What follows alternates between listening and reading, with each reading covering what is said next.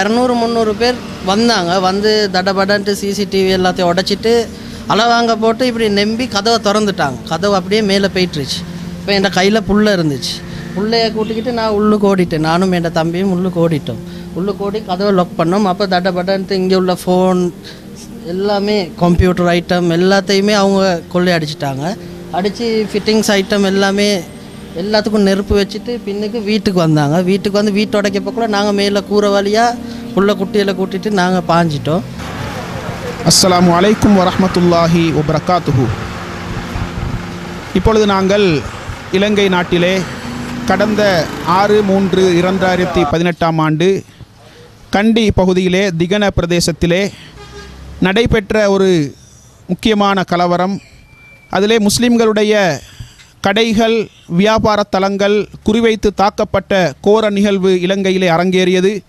எனவே அந்த பிரதேசத்தை நாங்கள் வந்து தரிசித்த பொழுது அங்கு எரிக்கப்பட்ட தீக்கரையாக்கப்பட்ட உடைத்து நொறுக்கப்பட்ட வியாபார தலங்களின் உரிமையாளர்களை சந்திப்பதற்கான வாய்ப்பு எங்களுக்கு கிடைத்தது.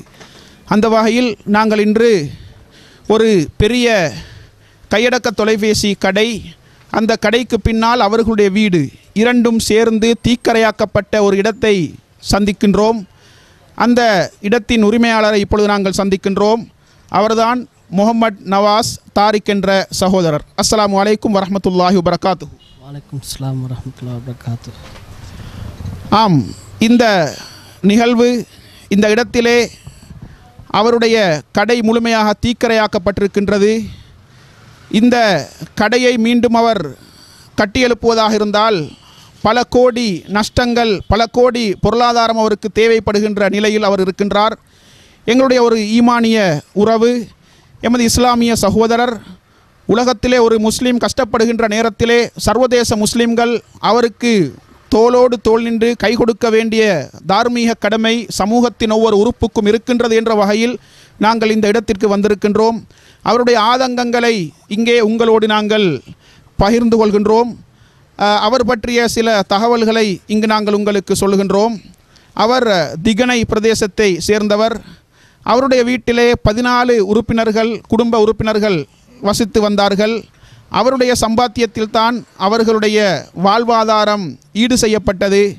எனவே இப்பொழுது நாங்கள் அவரிடத்திலே கேட்டு பார்ப்போம். அவருடைய இந்த வியாபார தளத்திற்கு நடந்த அநியாயத்தை பற்றி அவருடைய ஆதங்கங்களை இப்பொழுது அவரிடத்திலே நாங்கள் கேட்டு பார்ப்போம். இப்பொழுது இந்த நிகழ்வு பற்றி இது எப்படி நிகழ்ந்தது என்பதை பற்றி நீங்கள் சொல்ல விரும்புகின்ற கருத்து என்ன? இது அஞ்சாம் தேதி அஞ்சாம் தேதி சரியாக ஒரு ரெண்டு மணி இருக்கும். அப்போ கிட்டத்தட்ட நாங்கள் எல்லாமே சமைச்சிக்கிட்டு தான் இருந்தோம் வீட்டில் எல்லாம் ஒய்ஃப் எல்லாம் சமைச்சிக்கிட்டு இருந்தாங்க. அப்போ நாங்கள் கடையிலேருந்து சிசிடிவி வழியாக நாங்கள் பார்த்துக்கிட்டு இருந்தோம் ரோட்டில் என்ன நடக்குதுன்ட்டு. அப்போ ஒரு இரநூறு முந்நூறு பேர் வந்தாங்க. வந்து தடபடன்ட்டு சிசிடிவி எல்லாத்தையும் உடச்சிட்டு அளவாங்க போட்டு இப்படி நம்பி கதவை திறந்துட்டாங்க. கதவு அப்படியே மேலே போயிட்டுருச்சு. இப்போ என் கையில் புல்ல இருந்துச்சு. புள்ளைய கூட்டிக்கிட்டு நான் உள்ளுக்கு ஓடிட்டேன். நானும் என் தம்பியும் உள்ளுக்கு ஓடிட்டோம். உள்ளுக்கு ஓடி கதவை லாக் பண்ணோம். அப்போ தடபடன்ட்டு இங்கே உள்ள ஃபோன் எல்லாமே கம்ப்யூட்டர் ஐட்டம் எல்லாத்தையுமே அவங்க கொள்ளை அடிச்சிட்டாங்க அடித்து ஃபிட்டிங்ஸ் ஐட்டம் எல்லாமே எல்லாத்துக்கும் நெருப்பு வச்சுட்டு பின்னுக்கு வீட்டுக்கு வந்தாங்க. வீட்டுக்கு வந்து வீட்டு உடைக்கப்போ கூட நாங்கள் மேலே கூரை வழியாக புள்ள குட்டியில் கூட்டிட்டு நாங்கள் பாஞ்சிட்டோம். அப்போ வீட்டுள்ளுக்கும் வந்து பெட்ரோல் பம்பு என்னவோ தெரியா போட்டாங்க. போட்டதோட தடபடன்ட்டு எல்லாமே நெருப்பு எடுத்துருச்சு. நெருப்பு எடுத்து எல்லாமே எரிஞ்சிருச்சு முற்றிலும். அதோடு நாங்கள் அங்கே போயிட்டு ஒரு வீட்டில் ஒளிஞ்சிக்கிட்டு தான் இருந்தோம். உண்மையில் இவருடைய இந்த வியாபாரத்தலம் திட்டமிட்டு தீக்கரையாக்கப்பட்ட இந்த கோர நிகழ்வு பௌத்த தர்மத்தையே முறையாக பின்பற்ற தவறிய சில வாலிபர்களால் திட்டமிட்டு செய்யப்பட்ட ஒரு சதி முயற்சி என்பதை நாங்கள் புரிய முடிகின்றது. எனவே இப்பொழுது நீங்கள் உங்களுடைய குடும்ப உறுப்பினர்கள் என்ன நிலையில் இருக்கின்றார்கள் அவர்கள் எங்கு இருக்கின்றார்கள் உண்மையிலே எவராலும் குடியிருக்க முடியாத ஒரு நிலையில் இந்த வீடு இருக்கின்றது. உடைந்து தீக்கரையாகி எவராலும் வசிக்க முடியாத அளவுக்கு எப்பொழுது இந்த வீடு உடைந்து விழுமோ என்ற நிலையில் பாரிய வெடிப்புகள் இந்த கட்டிடத்தில் இருக்கின்றது. ஒரு பயங்கரமான ஆபத்தான நிலையில் இருக்கக்கூடிய இந்த வீட்டிலே எவரும் வசிக்க முடியாது. அந்த நிலையிலே உங்களுடைய குடும்ப உறுப்பினர்கள் இப்பொழுது எங்கே இருக்கின்றார்கள்? அவர்களுடைய நிலை என்ன என்பதை பற்றி நீங்கள் சொல்லுங்கள். உண்மையாக சொல்ல போனால் என் குடும்பத்தில் கிட்டத்தட்ட பதினாலு பேர் இருக்காங்க புள்ள குட்டிகளோட சேர்ந்து. இப்போ நாங்கள் எல்லாம் பெரிய இது வீடு பின்னுக்கு அதை சுற்றி நாங்கள் எல்லாரும் ஒன்றுக்கு இருந்தோம். இப்போ யார் யார் எங்கெங்கே இருக்காங்கன்றே சரியான இது எனக்கு தெரியாது. ஏன்டா அவங்கள கான்டாக்ட் பண்ணி பேசிக்கிற இல்லாத சூழ்நிலையில் நான் இருக்கேன். ஏன்டா அவங்க எங்கே இருக்காங்க? என் பிள்ளை குட்டிகள் மட்டும்தான் இப்போ என் கையில் இருக்க. தம்பியில் தம்பி அவங்களோட ஒய்ஃப் எல்லாமே எங்கே இருக்காங்கன்ட்டு எனக்கு இன்னும் சரியாக தெரியாது. அவங்க மாத்தலையில் ஒருத்தர் இருக்காங்க ஒருத்தர் அக்குர்நேரில் அப்படி எல்லாரும் இப்போ ஒன்றா இருந்தவங்க எல்லாம் பிரிஞ்சு பிரிஞ்சு தான் நாங்கள் இருக்கோம். உண்மையில் கேட்பதற்கே சகிக்க முடியாத ஒரு சோகமான நிகழ்வுதான் இந்த நிகழ்வு. ஈமானிய உறவினர்களே இப்பொழுது உங்களுடைய பங்களிப்பு என்ன என்பதை நாங்கள் எடை போட வேண்டிய ஒரு தருணம் இது.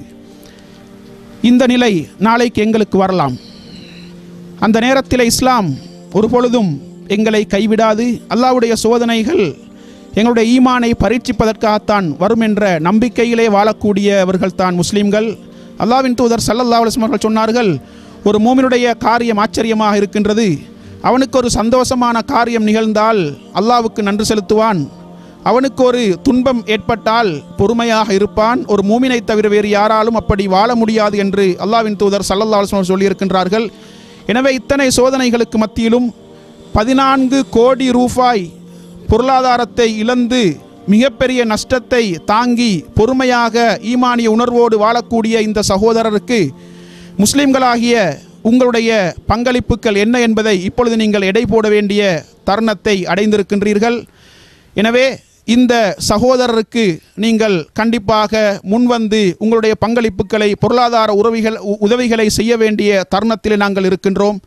எனவே அல்லாஹு தாலா பதினான்கு கோடி ரூபாயை இழந்து இப்பொழுது நிற்கதியான நிலையிலே குடும்ப உறுப்பினர்களை வாழ வைப்பதற்கு ஒரு இல்லம் இல்லாத நிலையிலே இருக்கின்றார். குடும்ப உறவினர்கள் எந்த இடத்தில் யார் இருக்கின்றார் என்ற தெரியாத நிலையிலே பல இடங்களிலே அவர்களை குடியமர்த்த குடியமர்த்தி இருக்கின்றார் எனவே இந்த நிலையில் இருக்கக்கூடிய இந்த சகோதரருக்கு உதவி செய்ய வேண்டிய தருணம் இவருக்காக வேண்டிய எங்களுடைய பொருளாதாரத்தை அல்லாஹ்வுடைய பாதையிலே செலவு செய்வோம். எங்களுடைய சதக்கா சக்காத்துக்களை நிச்சயமாக நாங்கள் இவருக்கு கொடுக்க வேண்டிய தருணத்திலே நாங்கள் இருக்கின்றோம். எனவே இந்த சந்தர்ப்பத்திலே இந்த சகோதரருடைய தொலைபேசி இலக்கத்தை நாங்கள் உங்களுக்கு தருகின்றோம். நீங்கள் நேரடியாக அவரோடு தொடர்பு கொள்ள முடியும். அந்த இலக்கத்தை அவரிடமே நாங்கள் கேட்டு பார்ப்போம். உங்களுடைய தொலைபேசி இலக்கத்தை சொல்லுங்கள். சைபர் ஏழு ஏழு நூற்றி முப்பத்தி மூணு நாற்பத்தி ஏழு இருபத்தேழு இன்னொன்று இருக்குது சைபர் ஏழில் மூணு இரநூத்தி எழுபத்தஞ்சி நூற்றி நாற்பத்தி மூணு. ஆம். மீண்டும் ஒரு முறை அந்த தொலைபேசி இலக்கத்தை நாங்கள் தருகிறோம். அதாவது சைஃபர் ஏழு ஏழு ஒன்று மூன்று மூன்று நான்கு ஏழு இரண்டு ஏழு. இந்த தொலைபேசி இலக்கத்தோடு நீங்கள் தொடர்பு கொண்டு அவருடைய தகவல்களை அறிந்து உங்களால் முடிந்த உதவிகளை நீங்கள் நேரடியாக அவருக்கு செய்ய முடியும். ஆம் இப்பொழுது உங்களுடைய இந்த இடத்திலே நீங்கள் இழந்த சொத்துக்களின் விவரங்களை எங்களுக்கு விவரமாக சொல்லுங்கள். கிட்டத்தட்ட என் மொத்த சொத்து இழப்பு வந்து பதினாலு கோடி. அதை சுருக்கமாக சொல்கிறேன்டா கிட்டத்தட்ட என் கடையில் ஒரு ரெண்டு கோடிக்கு மேலே ஃபோன்ஸ் இருந்துச்சு. மொபைல் ஃபோன்ஸ் ஐஃபோன் சாம்சங் அப்படி. கம்ப்யூட்டர்ஸ் லேப்டாப் அதுன்ட்டு சொல்லி நிறைய இருந்துச்சு. அது இல்லாமல் ரிப்பேரிங் ஃபோன்ஸ் ஐட்டம் அப்படின்டா இந்த display iPhone eight seven S seven அதுகளோட display மட்டுமே கிட்டத்தட்ட ஒரு பதினஞ்சு லட்ச ரூபாய்க்கு மேலே இருந்துச்சு. அது இல்லாமல் மொபைல் ஃபோன் கட்ட கொடுத்த மொபைல் ஃபோனுகள் அது இல்லாமல் நான் வட்டி இல்லாமல் கிட்டத்தட்ட ஃபோன்ட ப்ரைஸுக்கே கட்ட கொடுத்துருந்தேன். இன்ட்ரெஸ்ட் ஒன்றுமே இல்லாமல் ஆள்களுக்கு இன்ஸ்டால்மெண்ட்டுக்கு ஃபோன் கொடுத்துருந்தேன் கட்டுறதுக்கு. அதே கிட்டத்தட்ட ஒரு முப்பது லட்ச ரூபாய்க்கு மேலே இருந்துச்சு. அந்த டொ டாக்குமெண்ட்ஸே ஒன்றுமே இல்லை. யாருக்கு கட்ட கொடுத்தேன் எவருக்கு கட்ட கொடுத்தேன் ஒரு டாக்குமெண்ட்டை எல்லாம் கடையில் தான் இருந்துச்சு. அதுவும் முற்றிலும் சேதமடை கிட்டத்தட்ட வீட்டில் வீட்டில் நகைகள் மட்டுமே கிட்டத்தட்ட அறுபது பவுன் எழுபது பவுனுக்கு மேலே நகைகள் இருந்துச்சு. அதில் ஒன்றுமே இல்லை. வீடே முற்றிலும் எரிச்சிருக்காங்க. அது இல்லாமல் எனக்கிட்ட ஆறு ஏழு பேர் வேலை செஞ்சாங்க. இப்போ அவங்க கேட்குறாங்க இப்போ என்ன செய்கிறது நாங்கள் என்னத்தை இதாக்குறது? இப்போ நீங்கள் கடையை செய்ய போகிறீங்களா? இல்லாட்டி என்னத்தை இதாக்க போகிறீங்க? நாங்கள் என்ன செய்யன்ட்டு அவங்க அவங்களுக்கும் பதில் சொல்ல இயலாத நிலமையில் நான் இருக்கேன். இந்த மெனக்கின்ன கடையில் இருந்த சாமான் எல்லாம் அங்கே நெருப்பெடுக்குன்னு சொல்லி இங்கே கொண்டு வந்து வச்சுருந்தேன். அதுவும் சேர்ந்து ஒரே தான் போயிட்டுச்சு. எல்லாமே கிட்டத்தட்ட எல்லாமே முற்றிலும் அழிஞ்சு அழிஞ்சிருச்சு. கடையிலே வேலை செய்தவர்கள் என்ன நாங்கள் இப்பொழுது செய்வது என்று அவர்களும் நிற்கதியான நிலையில் இருக்கின்றார்கள். உங்களுடைய மெனிக்கின்ன கடைக்கு ஏதாவது பாதிப்புகள் ஏற்பட்டதா? மெனிக்கின்ன கடையில் முன்னுக்கு போர்ட் சிசிடி கேமரா அதெல்லாம் தான் இதாகினுச்சு ஆனால் அதுவும் கிட்டத்தட்ட பாதிப்படைஞ்ச மாதிரி தான். ஏன்டா அதில் உள்ள சாமான் எல்லாத்தையும் கொண்டு வந்து நான் இங்கே வீட்டில் தான் வச்சுருந்தேன். அதுவும் பாதிப்பாகிட்டு தான் இருக்குது அதுவும் முற்றிலும் அழிஞ்சு தான் இருக்குது. அப்போ கடை மட்டும்தான் அங்கே எம்டியாக இருக்குது. சாமான் ஒன்றுமே இல்லை போடுறதுக்கு. ஆம் உங்களுடைய திகனையில் இருக்கக்கூடிய இந்த கடையையும் நீங்கள் இழந்து மெனிக்கிண்ண கடையையும் இழந்து உங்களுடைய வீட்டையும் இழந்து குடும்பத்தார் நிற்கதியில்லா வாழ்வதற்கு இடமில்லாமல் வசிப்பதற்கு வீடு இல்லாமல் நிற்கதியான நிலையில் இருக்கின்றார்கள். எனவே அல்லாஹு தாலா உங்களுக்கு இருந்ததை விட உங்களுடைய பொருளாதார வாழ்க்கையை மேம்படுத்த வேண்டும் என்று நாங்கள் அல்லாவிடத்திலே பிரார்த்தனை செய்கின்றோம். நிச்சயமாக எங்களை பொறுத்தவரைக்கும் ஏற்படுகின்ற சோதனைகள் அல்லாஹு தாலா எங்களுடைய பாவங்களை அழிப்பதற்கும் எங்களுக்கு நல்ல பல கூலிகளை தருவதற்குமான ஏற்பாடு என்ற அந்த ஈமானோடு வாழக்கூடிய நாங்கள் அல்லாஹ் எங்களை ஒரு பொழுதும் கைவிட மாட்டான் என்ற நம்பிக்கையோடு நாங்கள் இருப்போம். அல்லாஹு தாலா எங்களுக்கு துணை புரிவான். உண்மையில் அந்த ஆறாம் தேதி நடைபெற்ற நிகழ்வுக்கு முன்னால் இருந்த மனோநிலை எப்படி? இப்பொழுது உங்களுடைய மனநிலை எப்படி மாற்றம் அடைந்திருக்கின்றது என்பதை பற்றி கொஞ்சம் எங்களோடு பகிர்ந்து கொள்ளுங்கள். மனநிலைண்டா நாங்கள் இனி எல்லாம் இப்போ இந்த குறுகிய காலத்தில் சேர்த்தது தானே. எல்லாம் எல்லா தரப்பைட்டு தான் எங்களுக்கு கிடச்சி. ஒன்றுமே நாங்கள் கொண்டு வரவும் இல்லை. என்னை பொறுத்த மட்டுக்கும் நான் படிப்பு முடிஞ்சதோட எம்டியாக தான் இருந்தேன். அதோடு நான் அந்த பிஸ்னஸ்க்கு இறங்கி தான் இவ்வளோ சொத்துகள் என்னால் இதாக முடிச்சு ஆனால் எல்லாம் ஒரே நாளில் அழிஞ்சிச்சு. இனி நாங்கள் எதையும் எடுத்துட்டும் வரல. எதையும் எடுத்துட்டும் போகிறதில்ல எல்லாம் பார்த்துக்கிட்டு இருக்கான். அவன் தர நினச்சா தருவான். எடுக்க நினச்சா எடுப்பான். அது அல்லாட கையில் நான் பாரம் கொடுத்துருக்கேன் எல்லாத்தையும். ஆம் உங்களுடைய ஈமானிய உறுதியை நாங்கள் பாராட்டுகின்றோம். அல்லாஹ் தாலா தரக்கூடியவனும் அவன்தான் எடுக்கக்கூடியவனும் அவன்தான். எனவே எடுத்ததை மீண்டும் தருவதற்கு அவன் போதுமானவன். எனவே அல்லாஹ் தாலா ஒரு பொழுதும் எங்களை கைவிட மாட்டான். எங்களுக்கு அல்லாஹ் தாலா இதைவிட பன்மடங்கு தருவதற்கும் தயாராக இருக்கக்கூடியவன் என்ற அந்த நற்செய்தியை இந்த சந்தர்ப்பத்திலே உங்களுக்கு ஆறுதலாக நாங்கள் சொல்லிக் கொள்கின்றோம். எனவே அல்லாஹு தாலா பாதிக்கப்பட்டிருக்கக்கூடிய இந்த ஈமானிய உறவினர்களுக்கு நல்ல பொறுமையையும் ஈமானிய பலத்தையும் கொடுக்க வேண்டும். சோதனைகளிலும் பொறுமையாக இருந்து மார்க்கத்தோடு இருந்து அல்லாவை பயந்து நடக்கக்கூடிய அந்த உணர்வை கொடுக்க வேண்டும். இப்படியான கஷ்டங்களில் இப்படியான சோதனைகளில் பங்கெடுக்கக்கூடிய அந்த பண்பையும் பக்குவத்தையும் எங்களுக்கும் தர வேண்டும். நாளைக்கு இப்படியான சோதனைகள் எங்களுக்கு வரலாம். எனவே நாங்கள் எப்பொழுதும் ஒரு உடம்புக்கு ஒப்பானவர்கள் உடம்பின் ஒரு பகுதிக்கு ஏதாவது ஒரு நோய் ஏற்பட்டுவிட்டால் ஏனைய உறுப்புகள் அந்த நோவிலே பங்கெடுப்பதை போன்று ஈமானிய உறவினர்கள் எங்கெல்லாம் பாதிக்கப்படுகின்றார்களோ அவர்களுடைய பாதிப்பிலே சர்வதேச முஸ்லிம்கள் பங்கெடுக்க வேண்டிய கடமை இருக்கின்றது. அந்த அடிப்படையிலே நாங்கள் அந்த சகோதரருக்கு உதவி செய்து அல்லாவிடத்திலே முழுமையான கூலியை பெற்றுக்கொள்வதற்கு அல்லாஹு தாலா நம் அனைவருக்கும் துணை புரிவானாக. வஸ்ஸலாமு அலைக்கும் வரஹமத்துல்லாஹி வபரகாத்துஹு.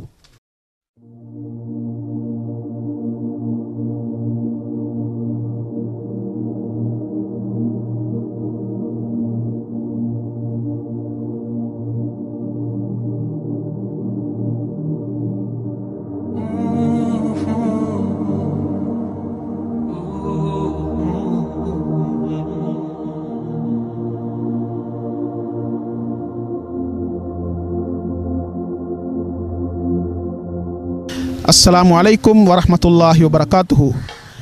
கடந்த ஆறு மூன்று இரண்டாயிரத்தி பதினெட்டாம் திகதி கண்டி திகன பகுதியிலே இடம்பெற்ற அசம்பாவிதத்திலே பாதிக்கப்பட்ட வியாபார நிலையங்களை முஸ்லீம்களுடைய வர்த்தக நிலையங்களை நாங்கள் இப்பொழுது தரிசிக்க வந்திருக்கின்றோம். எனவே அந்த வகையில் இப்பொழுது நாங்கள் தரிசிக்கக்கூடிய இந்த இடம் மெக்ரோ கேக் ஹவுஸ் என்ற ஒரு பேக் ஹவுஸ் பிரமாண்டமான பேக் ஹவுஸ் அந்த கட்டடத்தை தான் நீங்கள் இப்பொழுது பார்க்கிறீர்கள். சுமார் எட்டு கோடி நஷ்டத்தை ஏற்படுத்திய ஒரு தீ விபத்து இங்கே இடம்பெற்றிருக்கின்றது. கடை கடைக்கு மேல் இருக்கக்கூடிய வீடு அப்படியே தீக்கரையாக்கப்பட்டு அப்படியே அடித்து நொறுக்கப்பட்ட ஒரு கோரமான நிகழ்வு இங்கே அரங்கேறி இருக்கின்றது. எனவே இந்த கடையின் உரிமையாளர் அல்ஹாஜ் அஹ்மத் அவர்கள் உண்மையில் எங்களோடு நேரடியாக பேசுவதற்குரிய மனோநிலையை இழந்த நிலையிலே அவர் இருக்கின்றார். எனவே அவருக்கு எங்களால் முடியுமான உதவிகளை செய்ய வேண்டிய கடமை எங்களுக்கு இருக்கின்றது. அல்ஹாஜ் அஹ்மத் மெக்ரோ கேக் ஹவுஸின் உரிமையாளரின் தொலைபேசி இலக்கத்தை நேர்களாகி உங்களுக்கு நாங்கள் இதோ தருகின்றோம். குறித்து கொள்ளுங்கள். பூஜ்ஜியம் ஏழு ஏழு ஏழு எட்டு பூஜ்ஜியம் இரண்டு பூஜ்ஜியம் மூன்று ஒன்று. பூஜ்ஜியம் ஏழு ஏழு ஏழு எட்டு பூஜ்ஜியம் இரண்டு பூஜ்ஜியம் மூன்று ஒன்று. எனவே இந்த தொலைபேசி இலக்கத்தோடு நீங்கள் தொடர்பு கொள்ளலாம். அல்ஹாஜ் அஹ்மத் மெக்ரோ கேக் ஹவுஸின் உரிமையாளர் எட்டு கோடியை இழந்த நிலையிலே இப்பொழுது நிற்கதியான நிலையிலே அவர் இருக்கின்றார். அவருடைய வீடும் கடைக்கு மேலால் இருக்கின்றது. எனவே அந்த வீடும் இப்பொழுது முற்றாக எரிக்கப்பட்ட நிலையிலே இருக்கின்றது. வீட்டில் இருக்கக்கூடியவர்கள் அவருடைய குடும்பத்தாரை குடியமர்த்துவதற்குரிய இடம் ஒன்று கூட இல்லாத நிலையிலே அவர் இப்பொழுது இருக்கின்றார். எனவே எங்களுடைய ஒரு ஈமானிய உறவினர் ஒரு இஸ்லாமிய சகோதரர் இப்பொழுது எட்டு கோடியை இழந்த நிலையில் இருக்கின்றார். மிகவும் கூடுதலாக பாதிக்கப்பட்டிருக்கின்றார். தனது வர்த்தக நிலையத்தை இழந்திருக்கின்றார். எனவே இவருக்கு எங்களால் முடியுமான உதவிகளை வழங்குகின்ற கடமை சர்வதேச முஸ்லீம்களுக்கு இருக்கின்றது. அவருக்கு இன்றைக்கு ஒரு துன்பம் என்றால் நாளைக்கு எங்களுக்கு வரலாம். எனவே நாங்கள் எங்கள் அனைவரையும் ஒரு உடம்புக்கு நபி அவர்கள் ஒப்பாக்கி சொன்னார்கள். எங்கள் உடம்பின் ஒரு பகுதியாகத்தான் நாங்கள் அவரை பார்க்க வேண்டும். அவருக்கு ஏற்பட்ட சோதனை எங்களுக்கு எங்களுடைய உடம்புக்கு ஏற்பட்ட சோதனையாகத்தான் நாங்கள் பார்க்க வேண்டும். எனவே இந்த துன்பத்தில் நாங்கள் பங்கெடுக்க வேண்டும். அதனால் எங்களால் முடியுமான உதவிகளை நாங்கள் அவருக்கு வழங்க வேண்டும். மேலே சொன்ன சொன்ன அந்த தொலைபேசி இலக்கத்தோடு நீங்கள் தொடர்பு கொள்ளுங்கள். தொடர்பு கொண்டு அவருக்கு உங்களால் முடியுமான உதவிகளை பொருளாதார உதவிகளை நீங்கள் தாராளமாக அள்ளி வழங்குங்கள். அல்லாஹு தாலா அந்த உதவிகளின் மூலம் உங்களுடைய மீசானை கனதியாக்க வேண்டும் உங்களுக்கு சுவனத்தை பரிசாக தர வேண்டும். எனவே அந்த சகோதரருடைய பொருளாதார மேம்பாட்டுக்காக வேண்டி இந்த கஷ்டத்திலிருந்து அவர் விடுதலை பெற வேண்டும் அவருடைய பொருளாதாரம் மேம்பட வேண்டும் வாழ்வாதார வசதியை மிகச்சிறப்பாக அல்லா ஏற்படுத்தி கொடுக்க வேண்டும் குடும்பத்தின் வாழ்வாதார வசதிகளை அல்லாஹு தாலா சிறப்பாக ஏற்படுத்தி கொடுக்க வேண்டும் என்று அந்த சகோதரருக்காக இந்த நேரத்தில் நாங்கள் பிரார்த்தனை செய்து கொள்கின்றோம். உங்களால் முடியுமான உதவிகளை அவருக்கு தாராளமாக அள்ளி வழங்குங்கள். அல்லாஹு தாலா உங்களுக்கு முழுமையான கூலியை வழங்குவானாக என்று பிரார்த்தனை செய்து கொள்கின்றோம். ஐக்கிய தொகை ஜமாத்தின் ஊடகப் பிரிவின் மூலம் இந்த தகவலை உங்களுக்கு நாங்கள் தருவதில் மகிழ்ச்சி அடைகின்றோம். ஜசாக்குமுல்லாஹ் ஹைரா அஸ்ஸலாமு அலைக்கும் வரமத்துல்லாஹி வபரகாத்துஹு. அஸ்லாம் அலைக்கும் வரமத்துல்லாஹி வபரகாத்துஹு. கடந்த ஆறு மூன்று இரண்டாயிரத்தி பதினெட்டாம் தேதி கண்டி திகன பகுதியிலே நடைபெற்ற அசம்பாவிதத்தில் பாதிக்கப்பட்ட முஸ்லிம்களுடைய வர்த்தக நிலையங்களையும் வீடுகளையும் பார்வையிடுவதற்காக வேண்டி யூடிஜேயின் ஊடகப் பிரிவு இப்பொழுது வருகை தந்திருக்கின்றது. எனவே இந்த சந்தர்ப்பத்திலே கெங்கல்ல என்ற பிரதேசத்திலே பாதிக்கப்பட்ட ஒரு சகோதரரை இப்பொழுது நாங்கள் சந்தித்திருக்கின்றோம். அவர்தான் முகமது நாசிர். எனவே அவருடைய வாகனம் இங்கே எரிக்கப்பட்டிருக்கின்றது. அவருடைய வீடு சேதமாக்கப்பட்டிருக்கின்றது. பல லட்சம் ரூபாய்கள் பொறுமதியான சொத்துக்கள் சூறையாடப்பட்டிருக்கின்றது. எனவே இப்பொழுது நாங்கள் அவருடைய இழப்புக்கள் பற்றியும் அவருடைய மனோநிலை பற்றியும் சில வார்த்தைகளை உங்களோடு பகிர்ந்து கொள்கின்றோம். அஸ்லாம் அலைக்கும். எனது பேர் நாசிர். இழப்புன்னு இழப்புகள்னு சொல்கிறேன்னு சொன்னால் சொத்துக்கள் நிறைய இழந்து பட்டிக்கிறோம். தான் நாங்கள் இல்லைன்னு சொல்கிறது இல்லை. அதுக்கு விட மிக கவலையாக்கக்கூடிய என்னான்னு சொன்னேன்னு சொன்னால் இந்த நடக்கிறதுக்கு காரணம் என்னான்னு தெரியாது. நாங்கள் என்ன குற்றம் செஞ்சோன்னு எங்களுக்கு தெரியாது.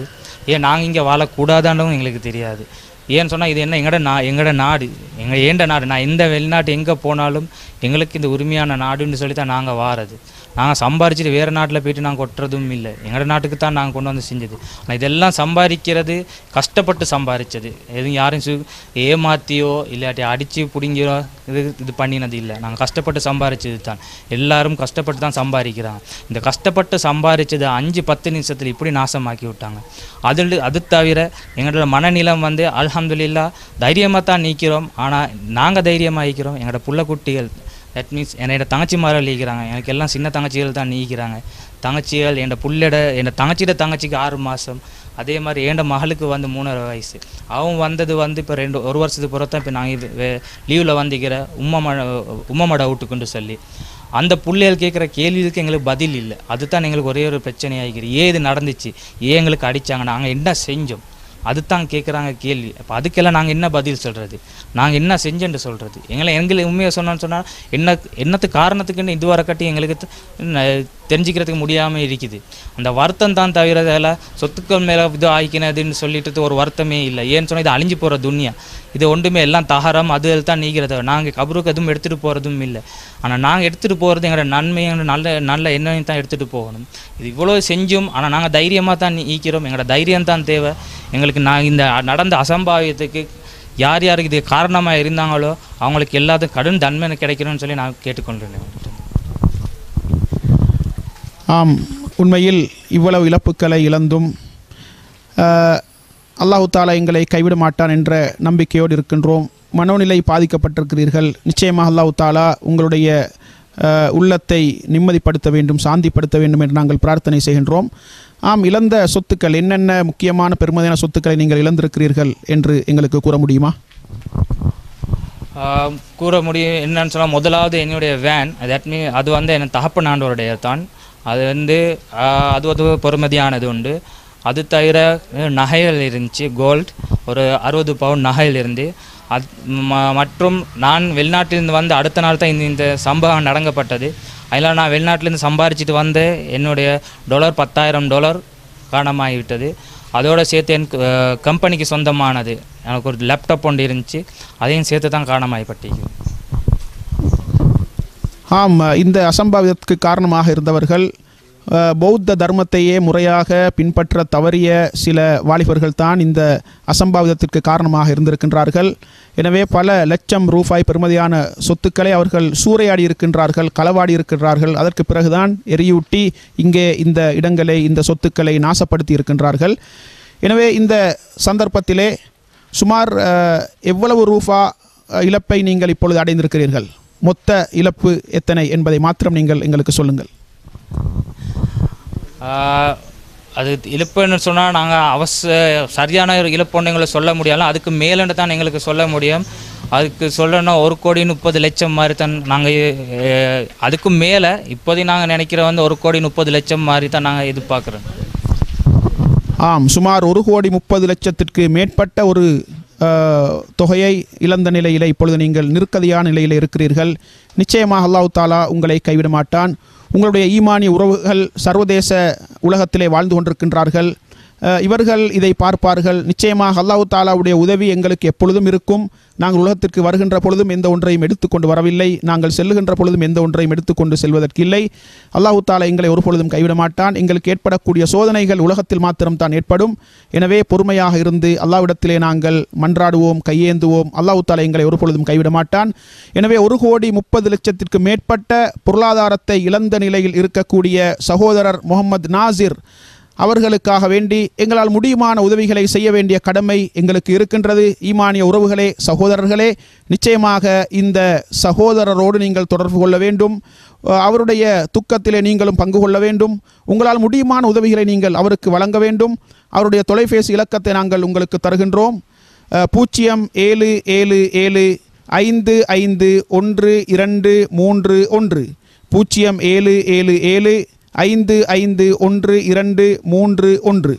இந்த தொலைபேசி இலக்கத்தோடு நீங்கள் தொடர்பு கொண்டு சகோதரர் முகமது நாசிர் அவர்களோடு நீங்கள் கதைத்து அவருடைய துக்கத்தில் நீங்களும் பங்கு கொண்டு உங்களால் முடியுமான உதவிகளை நீங்கள் அவருக்கு வழங்க வேண்டும்.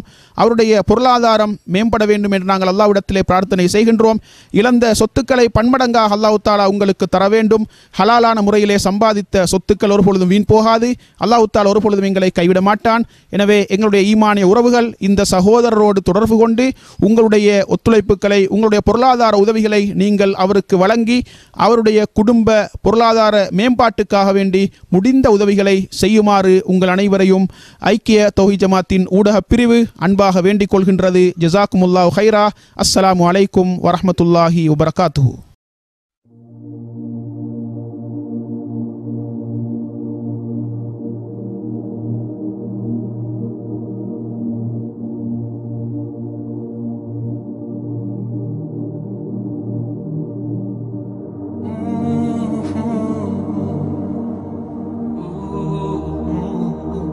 அஸ்லாம் அலைக்கும் வரமத்துல்லாஹி வபரகாத்துஹு.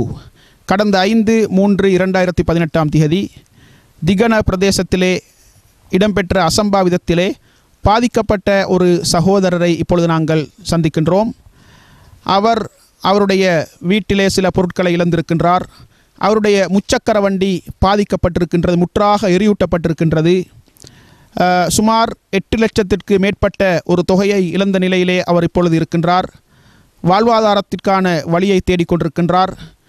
எனவே அவருடைய உணர்வுகள் மனோநிலைகள் அவர் என்னென்ன சொத்துக்களை இழந்தார் அவர் சமூகத்திடமிருந்து என்ன எதிர்பார்க்கின்றார் என்ற தகவல்களை அவரிடமிருந்தே நாங்கள் கேட்டு பார்ப்போம். அஸ்ஸலாமு இப்போ நானும் இந்த இன்சூரன்ஸ் போட்டிருக்கேன் ஃபுல் இன்சூரன்ஸ் போயிட்டு ஓடி அ- அலைஞ்சிக்கிட்டு தான் இருக்கிறேன். ஆனால் ஒன்றும் நடக்குதில்லை. போலீஸில் போனால் போலீஸ் என்ட்ரி கிடைக்குதில்ல. இன்சூரன்ஸில் கொப்பி ஒன்று தான் போலீஸில் என்ட்ரி ஒன்று எடுத்துருவாங்கன்ட்டு அது தாராளமும் இல்லை. இன்றைக்கும் போயிட்டு தான் வந்தேன். என்ன செய்கிறேன் ஒன்றும் விளங்குது இல்லை. அரசாங்கம்டா இப்போ இன்றைக்கு வர சொல்கிறாங்க வந்து ஃபோன் நிறைங்க இறங்க அதை நிறைங்க. ஆனால் ஒன்றும் நடக்குதில்ல வேலை. ரஸ்தே அதுதான். ஆம் இழந்த சொத்துக்களை மீட்டெடுப்பதற்காக வேண்டி பல முயற்சிகளை அவர் மேற்கொண்டும் கூட ஒன்றுமே கைகூடாத நிலையிலே அவர் இப்பொழுது இருக்கின்றார். மனோநிலை பாதிக்கப்பட்ட நிலையிலே இருக்கின்றார். அவருடைய பெயர் சகோதரர் உசைன். இந்த பிரதேசம் கெங்கல்ல என்ற பிரதேசம். அந்த பிரதேசத்தில் தான் இந்த சகோதரர் இருக்கின்றார். அவருடைய வீட்டை நீங்கள் பார்க்கிறீர்கள். அவருடைய எரியூட்டப்பட்ட முச்சக்கர வண்டியை பார்க்கிறீர்கள். முக்கியமாக அவருடைய கதிரைகள் அதே போன்று கதவுகள் எண்ணல்கள் அங்கே வீட்டுக்குள் நிலத்தில் பதிக்கப்பட்டிருந்த டைல்கள் கூட பாதிக்கப்பட்ட நிலையிலே தான் இருக்கின்றது. எனவே இந்த சகோதரருக்கு உங்களால் முடியுமான உதவிகளை செய்யுங்கள். எங்களுடைய ஈமானி ஒரு சகோதரர். எனவே எங்களுடைய இந்த சகோதரருக்கு முடியுமான உதவிகளை செய்து அவருடைய பொருளாதார மேம்பாட்டுக்காக வேண்டி எங்களால் முடிந்த ஒத்துழைப்பு ஒத்துழைப்புகளை செய்ய வேண்டிய கடமை எங்களுக்கு இருக்கின்றது. அந்த வகையிலே இப்பொழுது நாங்கள் உங்களுடைய உங்களுக்கு அவருடைய தொலைபேசி இலக்கத்தை தருகின்றோம். பூஜ்ஜியம் ஏழு ஏழு ஒன்பது ஐந்து இரண்டு நான்கு மூன்று எட்டு பூஜ்ஜியம். பூஜ்ஜியம் ஏழு ஏழு ஒன்பது ஐந்து இரண்டு நான்கு மூன்று எட்டு பூஜ்ஜியம். இந்த தொலைபேசி இலக்கத்தினூடாக சகோதரர் உசைன் அவர்களை நீங்கள் தொடர்பு கொண்டு அவருடைய துக்கத்தில் நீங்கள் பங்கு கொண்டு உங்களால் முடிந்த ஒத்துழைப்புகளை உதவிகளை அவருக்கு வழங்கி எங்களுடைய ஈமானிய ஒரு உறவினருக்காக வேண்டி நாங்கள் எங்களால் முடியுமான ஒத்துழைப்புகளை வழங்க வேண்டும் என்று ஐக்கிய தொகை ஜமாத்தின் ஊடகப் பிரிவு உங்கள் அனைவரையும் அன்பாக வேண்டிக் கொள்கின்றது. அல்லாஹு தாலா இந்த சொத்துக்களை இழந்த சகோதரருடைய பொருளாதாரத்தை மேம்படுத்த வேண்டும். அவர்களுடைய உணர்வுகளை மீண்டும் நல்ல முறையிலே சந்தோஷமாக அல்லாஹு தாலா ஏற்படுத்த வேண்டும். அவருடைய வாழ்வாதாரத்துக்கான வழிகளை அல்லாஹு தாலா மீண்டும் சிறப்பாக ஏற்படுத்தி கொடுக்க வேண்டும் என்று அல்லாவிடத்தில் நாங்கள் பிரார்த்தனை செய்கின்றோம். எனவே இவருக்காக உங்களால் முடியுமான உதவிகளை வழங்குங்கள் அவரோடு தொடர்பு கொள்ளுங்கள் உங்களால் முடிந்த ஒத்துழைப்புகளை வழங்கி அவருடைய எதிர்கால மேம்பாட்டுக்காக வேண்டி உதவி செய்யுமாறு உங்கள் அனைவரையும் அன்பாக நாங்கள் வேண்டிக் கொள்கின்றோம். ஜிசாக்குமுல்லாஹ் ஹைரா அஸ்லாம் அலைக்கும் வரமத்துல்லாஹி வபரகாத்துஹு.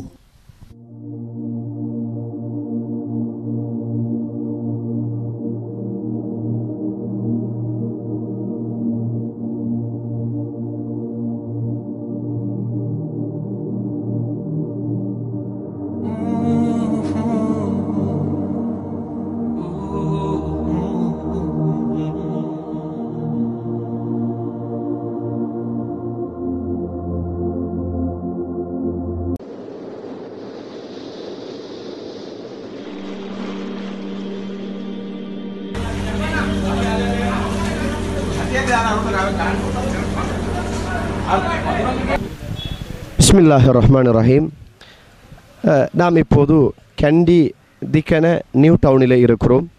இந்த ஊரிலே செல்லமாக அழைக்கப்பட்ட ஃபர்ஹான் ஹாஜியார் என்று அழைக்கப்பட்ட அவருடைய கடைதான் இந்த கடை. இது ஒரு தனி ஆடை தொழிற்சாலை.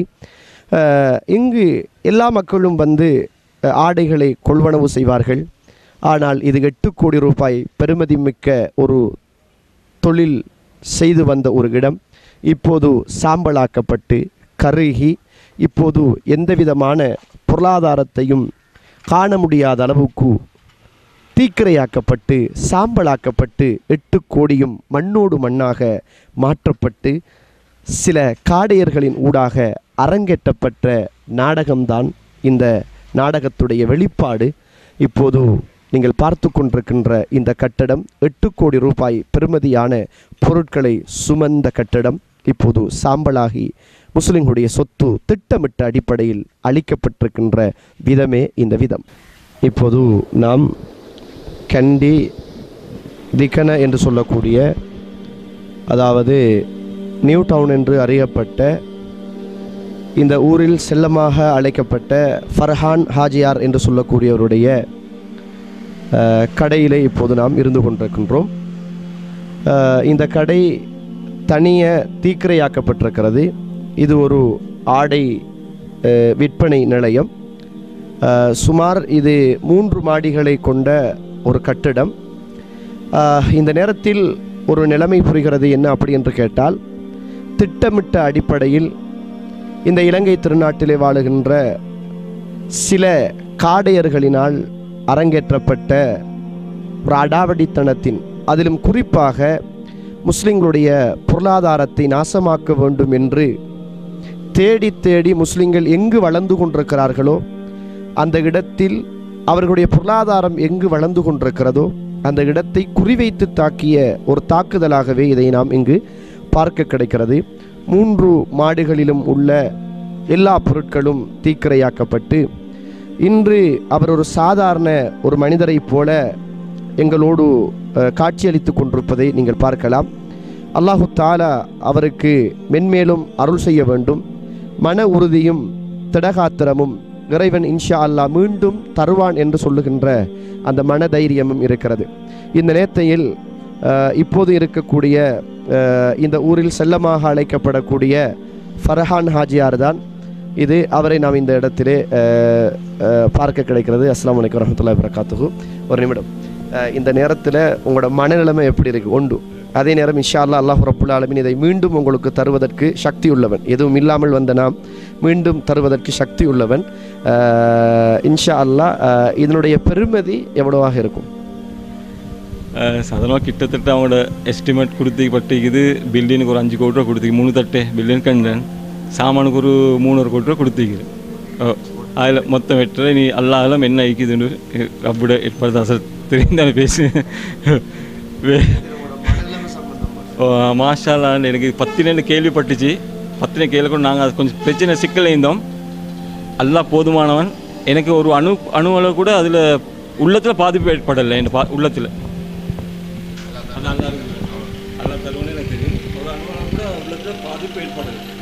கண்டிப்பாக இந்த நேரத்தில் ஒரு செய்தியை சகோதர சகோதரர் அவர்களுக்கு சொல்ல வேண்டும்.